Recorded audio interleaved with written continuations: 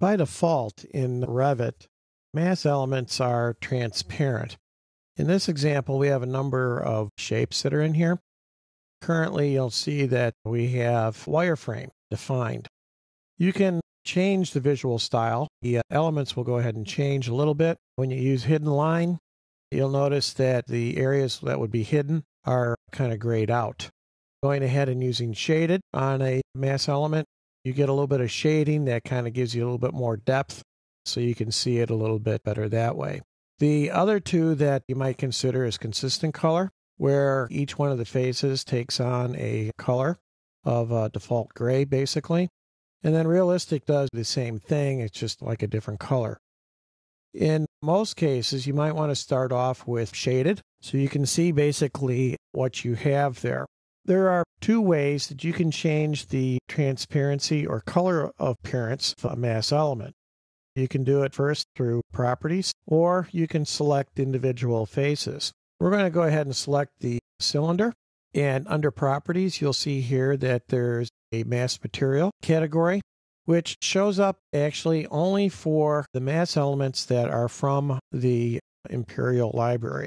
You will not find this property involved with in place mass elements or ones that come from the family editor. So I'm going to click in here. There's a little icon that I'm going to click. And as far as materials go, I'm going to come up here to project materials and I'm going down to miscellaneous. I have default mass glazing, which I'm going to click on. You can see that this is the color that comes in and it's fairly transparent. Now I can slide this back a little bit if I need to and press OK. And you'll see here that that cylinder went ahead and picked up that color. Another method is to apply by face. I come over here and select uh, this element and then come up to the geometry panel and look for paint and pick paint. And you get into the material browser in this case. We're going to narrow our selection down again to miscellaneous. In this case, we'll pick up default roof We'll look for the top face of this element and click on it, and we'll do basically the same there. Now, there's others that are available. Here's a default mass wall, and we'll go ahead and click on that, and we'll pick up this face, and it kind of turns into green. And I'll pick this one as well. You can keep on doing that. I'll pick up a mass glazing, put it on this face and that face, and then hit modify. Now, if I want to remove any of these colors, all I have to do is select the box again and then come up to geometry. And instead of pick paint, pick remove paint. Then pick the face and it will go ahead and remove basically the color. You can also modify colors.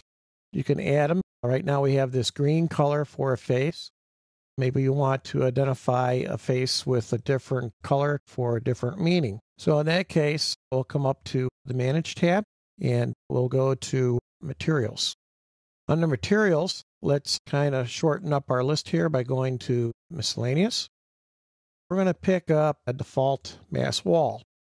In this case, we're going to right click and we're going to click Duplicate. Let's just call it red. So this material is going to be red. We'll come over here to Shading and we'll pick up red and then press OK. Again, you can play with the transparency, making it either more transparent or less transparent, and press OK. So let's go ahead and apply that material. So we'll go ahead and select the box. We'll change the paint to actually paint. And we'll go back into miscellaneous. Here's red. So we'll pick red and then pick a face. We'll pick this face too. And you can see there that materials have been placed. So, in most cases, you can use visual styles to see the edges of the mass elements. You can change the color and transparency of a material in the material browser. You can duplicate a material and then rename it so you can make any kinds of changes that you want. One of the nice things is, is that if you do make a change to a default material in the browser, it only affects the materials that are within the project. It does not affect anything that's in your library.